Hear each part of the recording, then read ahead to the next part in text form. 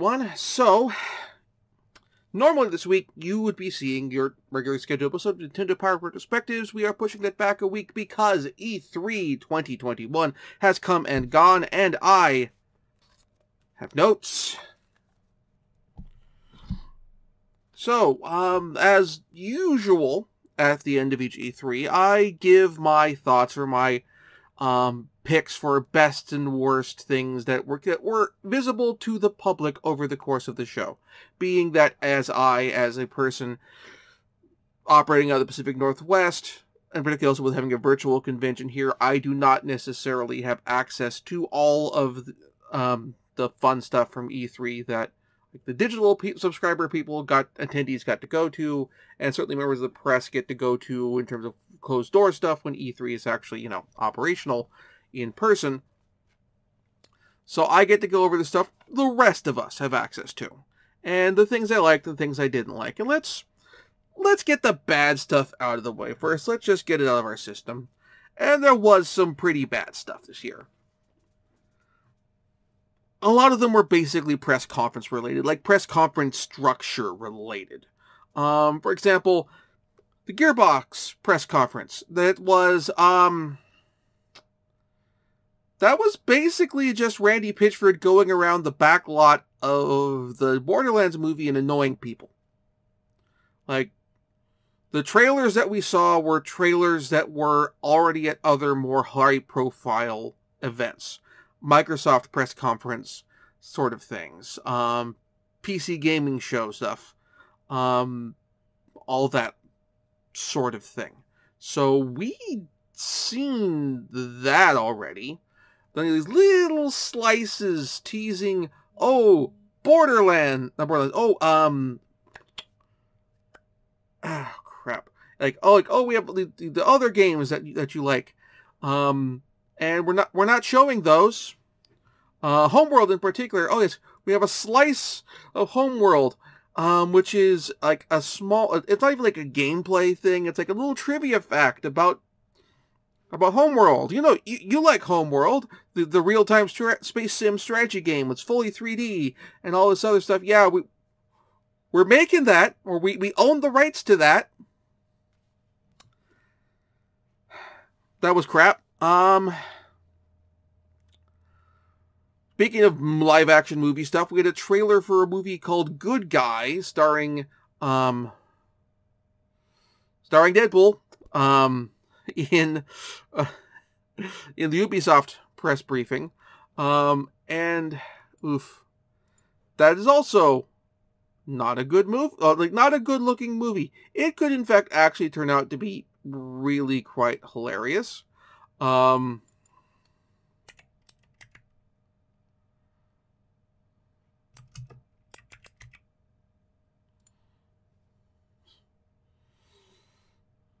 But yeah, like Ryan Reynolds, all right.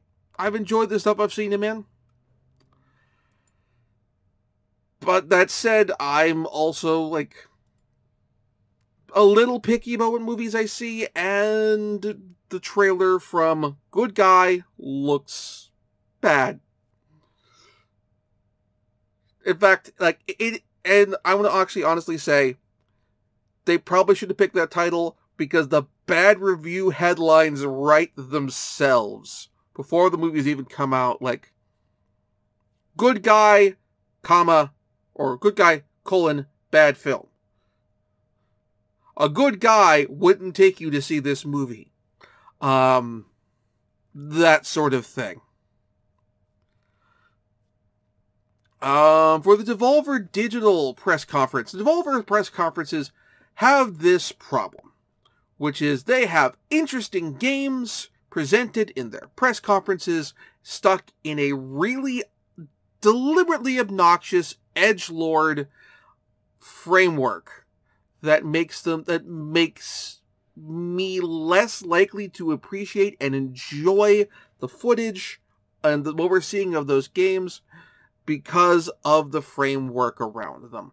Um, if you're a fan of Giant Bomb, you may remember a concept that came up with a few quick looks on that side of quote Internet Dan, which is Dan Ryckert doing a parody or pastiche of a particular variety of internet humor that is basically based on the idea that shouting obscenities is funny. Um, violence without context is funny. Uh, and telling people to do crass things, often usually sexually objectifying things, is inherently funny. Um, he did this in. He, he created the character in. I forget the quick look, the name of the game. I blocked the game from my memory, but it was a team-based. It was a, a deathmatch game for the PlayStation 4 with a deliberate, drawn in a, um, like drawn in drawn in your high school notebook or middle school notebook kind of aesthetic with the same level of maturity, right? Like it's very deliberately immature perspective. And that's the thing Devolver Digital does, what tends to do with their press conferences. And that's always frustrated me and annoyed me. Like one of the things, like the first one of these that they really did, as an example, the thing that, that they did peeves me off, is they like part of the thing that they were doing with it is like the part of the parody was doing mock cuts to the audience and people reacting in the audience cheerfully to what's happening on stage. And like one of the ones they did was oh there was a, was like a parent with a child in the audience. And the and that one always bugged me.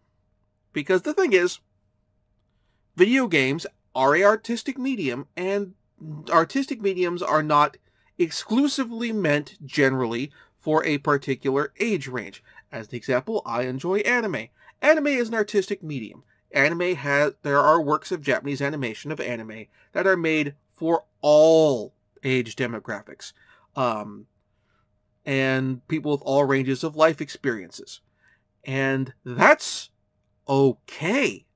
That's in fact, that's good. It's wonderful. It, speaks to the staying power of artistic medium that there are works of animation for all age brackets instead of just being for children or, or anime being just for adults and teenagers and that sort of thing. That's great. Same thing with novels. It's good that there are YA novels and middle grade novels. They have merits of their own and they can be just as good and the as novels aimed for adults. In fact, it's ideally good if they work on multiple levels, particularly if you're dealing with, for example, reading a novel, if you're a parent reading a novel to your kid. So, having, like, oh, there's a kid in the audience at this, as a, at this game conference where they're showing gory stuff, and playing this up as a joke. I'm like, well, video games are for everyone. Now, yes, certainly having a kid in the audience at the um, id press conference where they're showing off Doom and that sort of thing. Or the, the but uh, back in the days when it was just strictly Bethesda before Microsoft bought them out, like oh, having a kid in the audience at the Bethesda conference where they're seeing Doom and eyeballs getting ripped out of demons' heads and that sort of thing, like that's question like that would be a questionable decision on the parents' part, but like it that that's the parents' choice. And like long story short, it's and long long rant short, that ran me rubbed me the wrong way. And after I kind of saw that, and I started paying attention to subsequent press of uh, press briefings is wrong, but Devolver digital conferences, the same sort of thing kept playing up. Like, oh, there's like a degree of punching down gatekeeping humor that keeps just coming in there. Even if like, oh, we're poking fun at micro like we're lampooning the game industry's trend of microtransactions and season passes and all this and live service games and all this, that, and the other thing, with the fact that our Devolver games don't have those necessarily. Except they publish Fall Guys, which does. Um, then things get then you start going, well, it still puts a like sour note to all of that. Like not in terms of souring the perspective of other people's games in, in relation to Devolver, but souring the perspective of Devolver's press conference, uh, Devolver's digital conferences. Because Devolver's games, like they publish really good games. They've also published some published some stinkers. I have I admit I am not like super into the Hotline Miami series, but I've heard people say, "Oh, there's been a diminishing returns with those." But the point stands is if you feel that what that in order to draw the thing that you have to do to make your games stand out is not the the quality of your games, but to just be so busy skewering the rest of the industry that that lessens your games by comparison because it, it hurt you're not talking about your games. You're talking about everybody else. And that's the problem. Other bad stuff. Um so while the Nintendo press briefing was very good. It's a very good selection of games and some really good humor for the new um, Smash reveal of uh, Kazuya um, from Tekken. The bad was, oh, like not quite last minute because it was technically 10 hours before, but 10 hours before the launch of the briefing is still the uh, middle of the night in, you know, the West Coast, in fairly early morning on the East Coast and say, "Oh, Nintendo of Japan, um, we're not going to let people co-stream, and we will take action if people do." After everyone else had gotten clearances to do so, and even Twitch on their official channel was like, "We have paperwork. We have an agreement right here." In fact, they posted on the Twitter saying we had while we that they pulled out of doing the co-stream, saying while we have an existing agreement with Nintendo saying that we had permission to do this, this crap can't happen out of the blue and we can't and we can't get this straightened out basically and that's that's crappy on Nintendo of Japan's part. That's undermining Nintendo of America's and certainly also Nintendo of Europe's attempts to promote their products, and well as any existing brand relationships that they had with part that they have with partners, be it Twitch, um, and be it various like the influencers like the Completionist, who had have gotten permission to, you know, do the co-stream. And certainly there was a lot of really good stuff on that show that you've gotten really solid reactions from. From, again, new Smash character to Metroid freaking 5 to Advance Wars 1 and 2 Remastered Collection. There were things to love. There are things to love in that press briefing. And that left everyone going into it on a sour note. The last two are pretty clear cut, no good nicks. Um, Intellivision Amico keynote, um, the games look like trash. The console looks really rough. It's not necessarily going to be vaporware in the same way that the Coleco Chameleon was, but it's still really, it, it still feels like a really questionable system. Um, in the sense of I'm not sure what they're trying to do with it. And the way from they're presenting it, they aren't either. And last but not least, well, I, I'm going to say it right, this is my shame of the show, is Mythical Games with their games with um, NFT enabled characters um, and DLC and add-ons for characters along with figures that have NFTs related to them. So you're not just killing the environment through the through the abuse of the block of blockchain technology, which again could theoretically be used for good things, but this ain't it. But you're also killing the equivalent for cheap plastic crap for live service games that are eventually going to have their servers turned off. blah.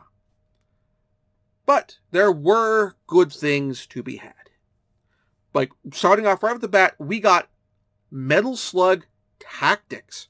I love the Metal Slug series. I'm not necessarily great at the Metal Slug series, but I love the Metal Slug series a lot. And I like, in particular, I love the visual aesthetic of it, and seeing it applied to a tactics game, which is another genre that's my jam, as the time this video goes out, we'll be in the middle of my uh, of my Tactics Ogre Let's Play. So yeah, tactic RPGs are my jam.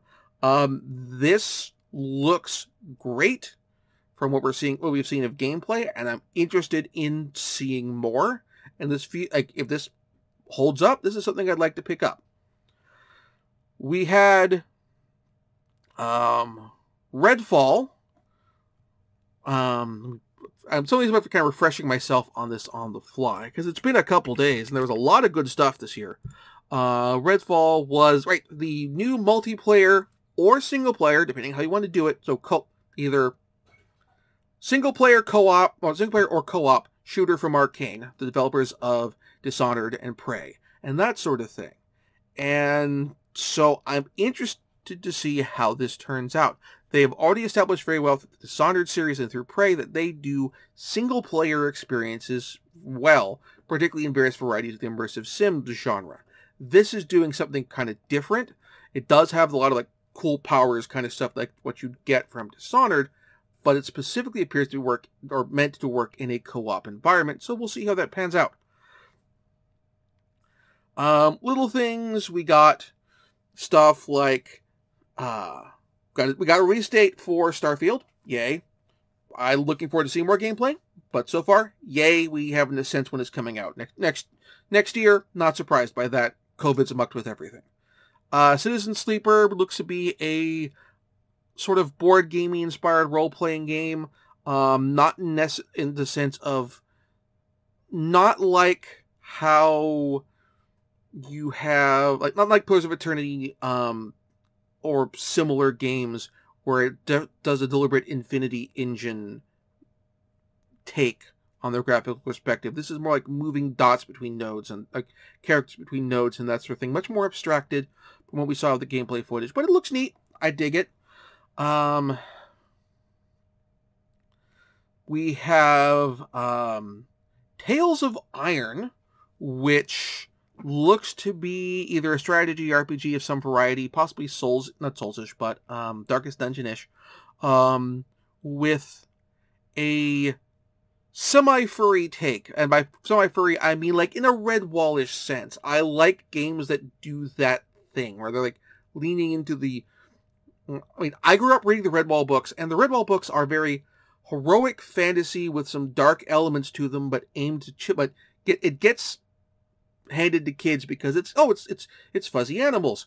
Um, never mind the fact that like the first Redwall book has a stoat getting run over by a wagon and just getting his back his like neck snapped and um utterly killed like killed messily.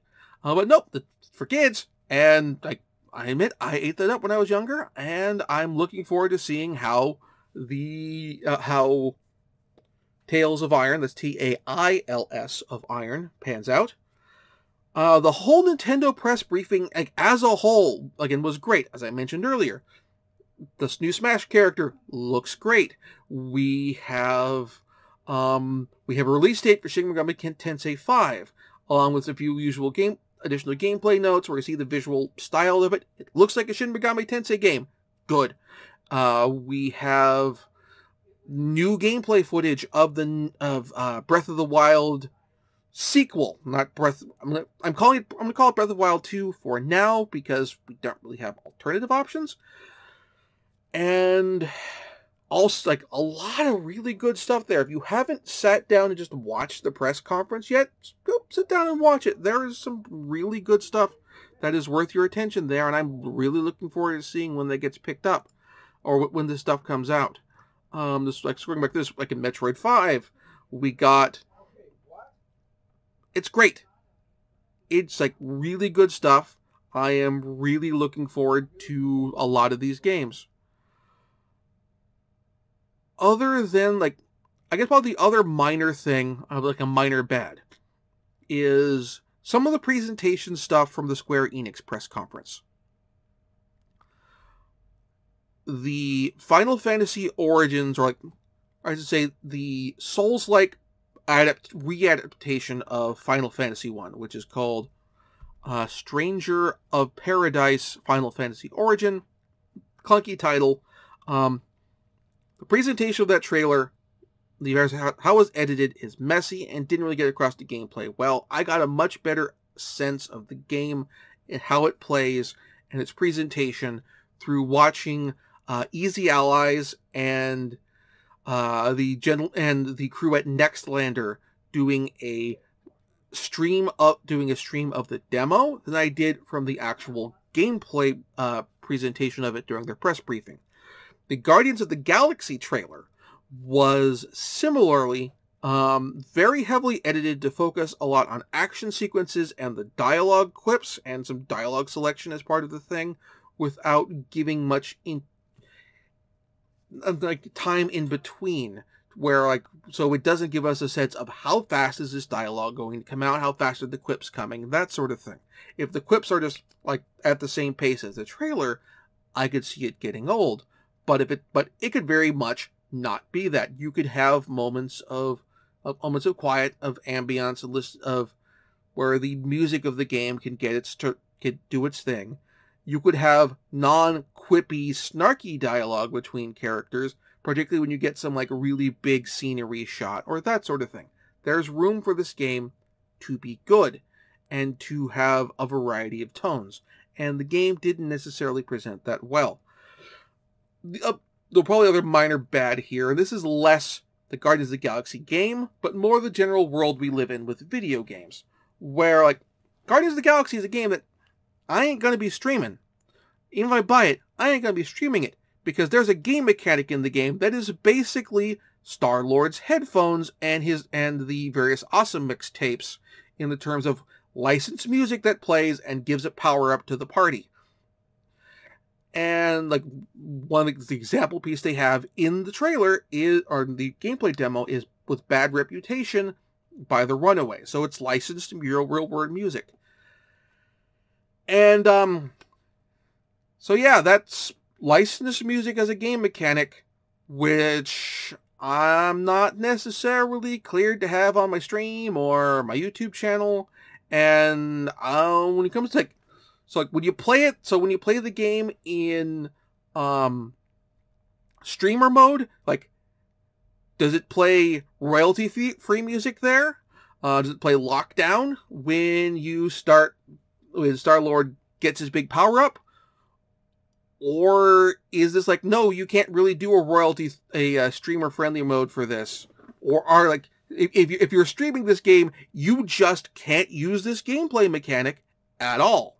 And if that's the case that's crappy. But that's not crappy for on square enix's end i will say. That's crappy that's crappy on twitch's end. That's crappy on YouTube's end. I would say it's crappy on Facebook's end, but they handed over a bunch of money to record labels to basically cut them some, to get the record labels to cut them some slack on VODs. But even then, VODs on you on Facebook do not last as long as VODs on YouTube, which basically where there, my edited Let's Plays stay out last as long as YouTube on YouTube, more or less as long as I want them to provided no outside action is taken to take them down. So, yeah, that's messy looking at this from the perspective of a person who puts, puts videos on YouTube. So, with all that out of the way, I enjoyed the, the, the, coverage that I saw of this year's E3. There's a lot of games coming out of this, and I'm looking forward to their release, and I hope, and some of them hopefully will be able to cover. And I hope that you found some stuff as well. If there's anything that I didn't mention that you want to bring up, please post in the comments below. I'm interested. Like, if there's something I missed, I am interested to hear about it because there's there's like there were a lot of co-streams going on, a lot of demos coming out, and again, I didn't do the paid thing, so there are problems. There may be some additional E3 stuff that I didn't get a chance to see that maybe y'all did, and that'd be cool if, uh, if you let me know about it next week, and we get to our slightly delayed next episode of Nintendo Powered Retrospectives.